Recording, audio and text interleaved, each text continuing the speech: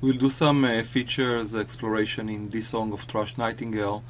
You can look first at the segmentation. The yellow curve is the adaptive threshold, and you can see how it goes up and then down again. And the advantage of that is that the threshold is allowing us by adaptivity to detect low amplitude sounds. You can see the amplitude in red, and in purple you can see the smooth amplitude that we are using here.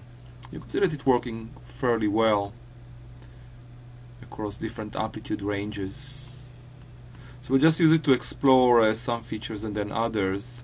Let's start by uh, Wiener entropy, very uh, important feature that is computed uh, to show the width of the power spectrum. I double clicked on it to show you the entire curve even during silences. You can see that when there is no sound it's usually going to be quite high, usually at the level of about uh, minus, um, uh, minus 1 uh, and then as the sound is becoming more tonal it will go much lower usually to something like minus 5 or minus 6 and what is nice when you look at that is how uh, the changes are quite reproducible even without smoothing the curve too much or at all and you can see that sounds that are more tonal even by some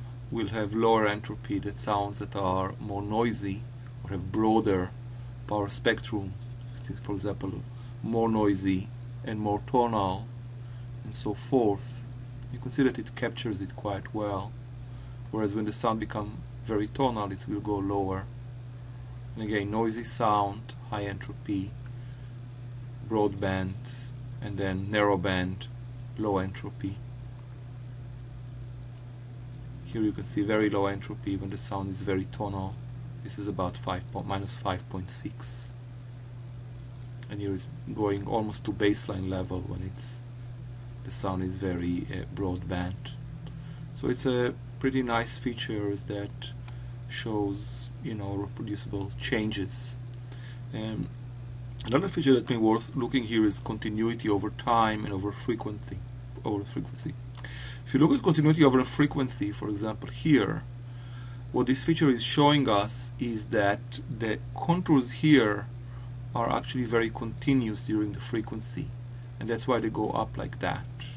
If we look at continuity over time, because it's not very high here, um, FM is a feature that will detect harmonic stacks too. You can see how it goes down when sounds become very harmonic. It's a noisy feature, but again, it's a very low level calculated feature and it's pretty robust detector of events where you have a harmonic stack.